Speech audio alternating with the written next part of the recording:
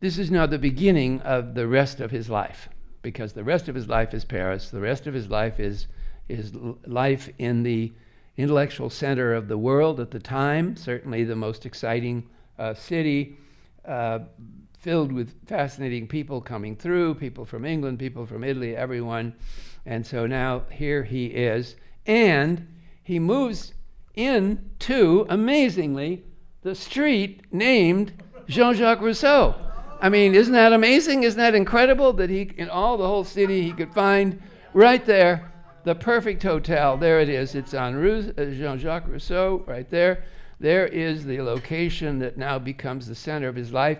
Basically, he stays in this location for the whole rest of his Parisian life. Now, he'll be all over. He'll travel. He'll go back to Geneva, go to London. It, has a lot of travels. But his basic life will unfold here in the neighborhood. What is this neighborhood? Left Bank, uh, Fifth Arrondissement, the heart of the left bank. It's the heart of the university world. So all around him on all the streets are, are the different uh, departments of the University of Paris. The Sorbonne is right next door. Uh, the Pantheon is just a block up uh, Rue Saint Michel, and, and that's where he'll be buried. Both he and Voltaire will be buried in the, in the Pantheon. You can see it on the map. So essentially, this is his world. Notre Dame on the island, just a block or two away. Luxembourg Gardens, just a block or two away. This is his world. Here's the Sorbonne, and here's his hotel that he moves into, the Hotel uh, Saint Quentin and he's going to live here for years and years and years and years. He may leave on a trip and come back, but this place and this life is going to be the center of his Parisian existence for 30 years, uh, on and off. Now, why a hotel? Why would you want to just move into a hotel? Well, it's exactly the kind of life he wanted. He, he, he wanted no responsibilities. He didn't want to worry about a house. He didn't want to worry about mortgage payments. He didn't want to work, worry about any of those banks that were going to fail anyway. So he didn't want a mortgage, and and he didn't and he didn't really imagine getting married and raising a family and and having a nice house in the city and sending his kids to the school. No, no, none of that. Uh, he thought about Rousseau, about Rousseau, uh, Jean-Jacques Rousseau, and his books and his ideas uh, and the things he was going to write, and which he will begin doing. And so he moved into the hotel and he will live in the hotel. And he, of course, needed help because uh, he didn't want to cook. So he needs someone to help him eat and cook. And so he found right away a, an employee of the hotel, Maria Therese, uh, who becomes his girlfriend. So, so Maria Therese becomes his girlfriend and his lifelong companion. There's no fooling around from here on in. It's Marie Therese. Uh, and she will uh, hover in the background as sort of a maid for quite a while. He won't even admit to anybody she's anything other than just the maid. Oh, she's the maid.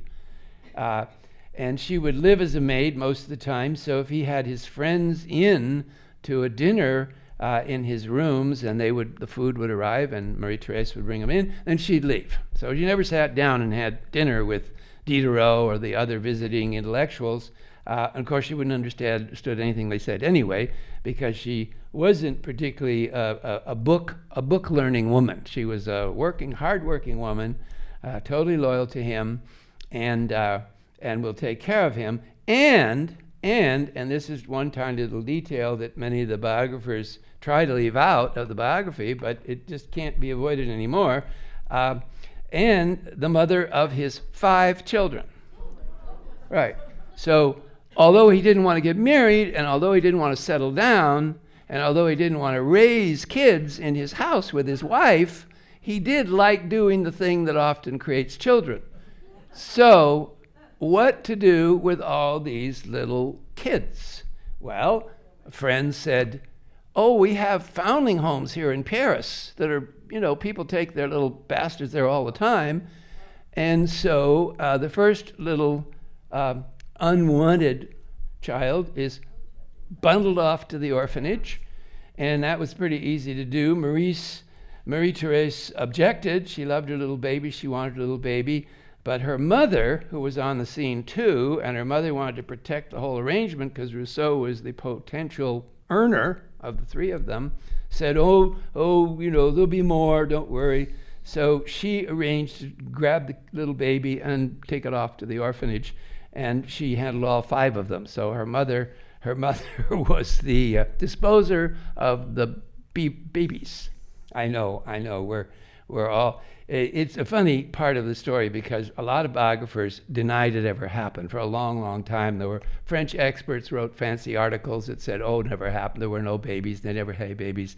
But of course, it couldn't be maintained forever. There were too many letters from too many people. Uh, Marie Therese just had a second baby. Maurice just had a third baby, and so the babies were uh, uh, carried away off to the foundling home. Now there is a certain contradiction between the way he treated his little babies and all the books he wrote about how wonderful children are.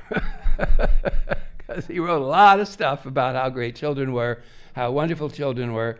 And so, uh, you know, the biographers still struggle with what to do with this unwanted fact. So that's, that's the biographical uh, structure for Rousseau in Paris by 1750. So from the 40s to the 50s, he looks for work. Uh, he meets the fancy literati, the, the dukes and duchesses, and uh, they love him because he's witty and he's smart and he's charming. Uh, he's a musician. He will write an opera that will become a huge sensation in Paris. So he has uh, skills that will endear him to the, to the fancy people of Paris. And through those friendships, he will receive uh, good jobs. One of them is a tutor. He can tutor the children of a duke or a duchess, and he does, and uh, becomes uh, very skillful at uh, writing music and publishing it, and also at a point copying music, so that people who, who wanted to own a set of Bach or something would hire him to copy the music. Here's uh, the Pantheon just up the street. That's where he's buried with Voltaire. And so now life begins at the Hotel Saint Quentin. One of the things that he does is write plays and an, an opera. And the first big success he has is a play called uh, Narcissus. And I think it's so wonderful because, of course, Narcissus is about self love. And certainly Rousseau knew a lot about self love and you're going to hear more as we talk about him tonight. Uh, whether he was a narcissist or not, he certainly knew a lot about it. Um, and now he begins working for the encyclopedia. So, so in these years, 1748, 49, 50, 51, uh, the important job he gets is working with Diderot. Diderot's the editor uh, with Diderot and other intellects in Paris writing articles for the encyclopedia. So, as you know, that's the way all encyclopedias are written. An editor in New York or Paris or London uh, hands out all these assignments of all these articles, and then the uh, person who's going to write it goes out and does research. I had a friend, a good friend, who worked for Encyclopedia Britannica, and, and he did it. He lived in New York, and he did it all the time, and he loved it because it was fun. You just take the subject, go do some research, turn in the article, get paid, go on to the next subject. So that's what he's doing. So, so the perfect, the perfect setting for our understanding of him at mid-century is as a writer, researcher, laboring on the most perfect enlightenment project of all, the encyclopedia.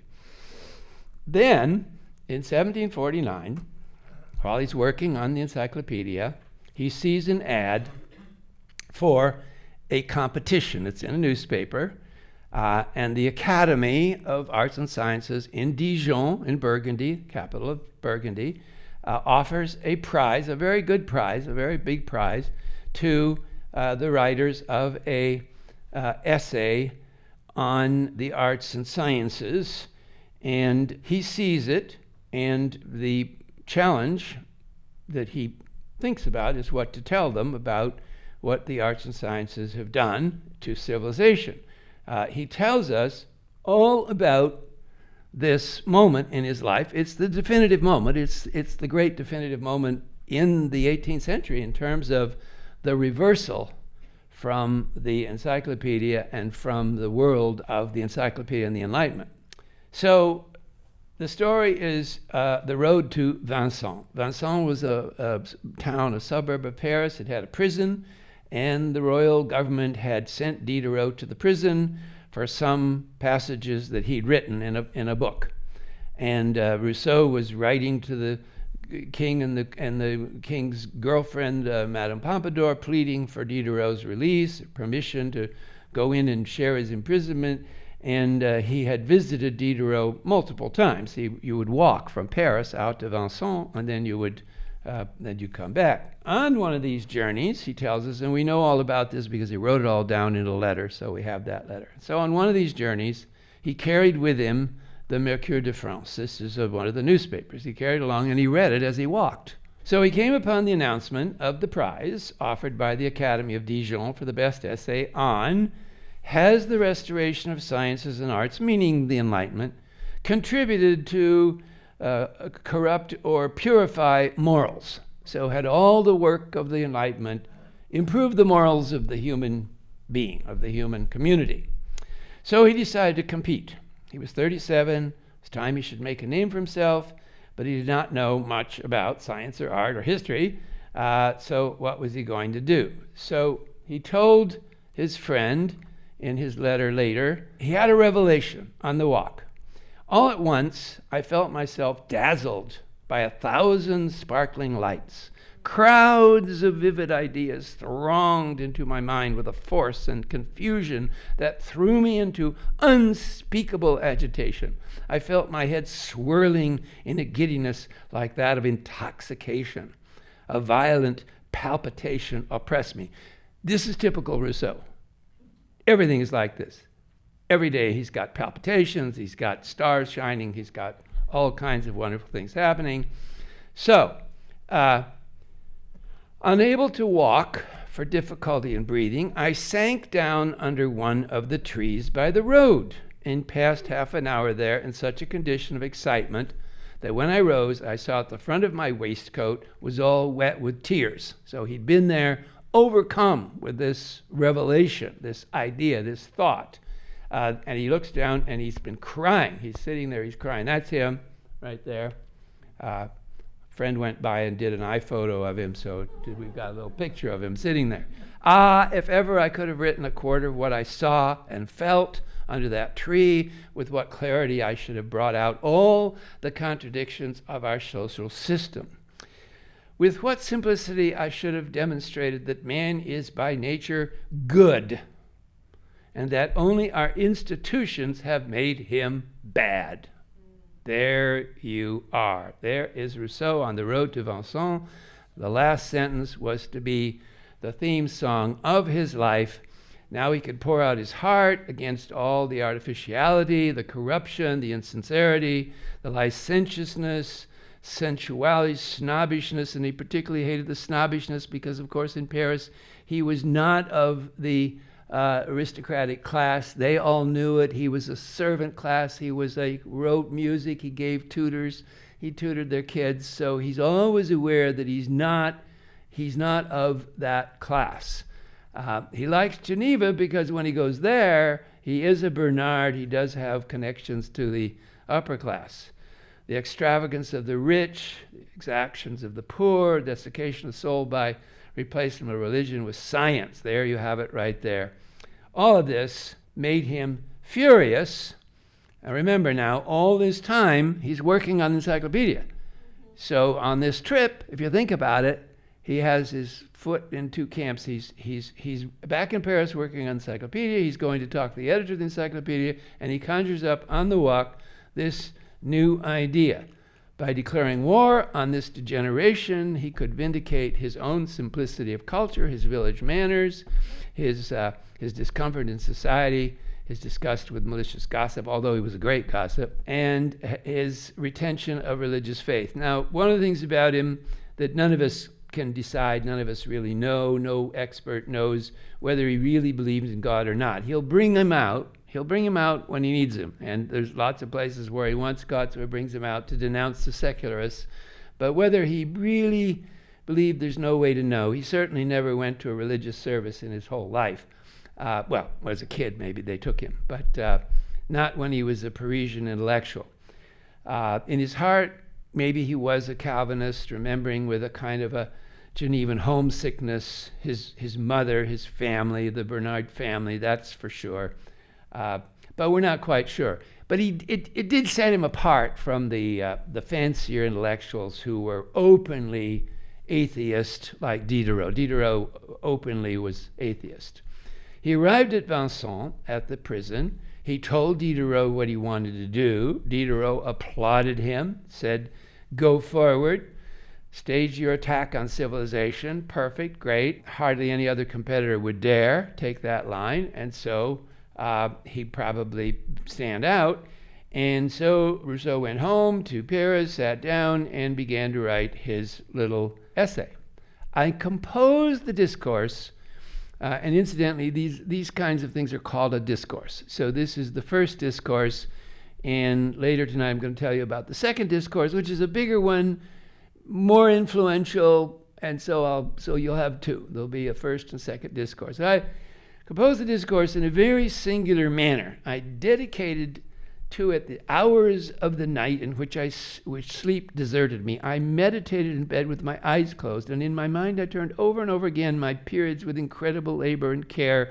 As soon as the discourse was finished, I showed it to Diderot. He was satisfied with the production and pointed out some corrections. I sent it off uh, without mentioning it to anybody except Grimm, Grimm, of course, was another member of the, encycl- of the encyclopedia crowd. He was from Germany, but he was a brilliant uh, French linguist and, of course, a great writer. So, off the submission went to the Dijon Academy, and guess what? He won! The Dijon Academy crowned his essay with first prize, gold medal, 300 francs. That was a pretty uh, nice amount of money. Uh, Diderot, with characteristic enthusiasm, arranged for the publication of the discourse without even telling Rousseau because he was connected to all these different publishers and printers. And back came the report Your discourse is taking beyond all imagination. Never was there an instance of a like success. It was as if Paris realized that here, at the very midpoint of the Enlightenment, a man had risen to challenge the age of reason. That's exactly right. That's exactly what had happened.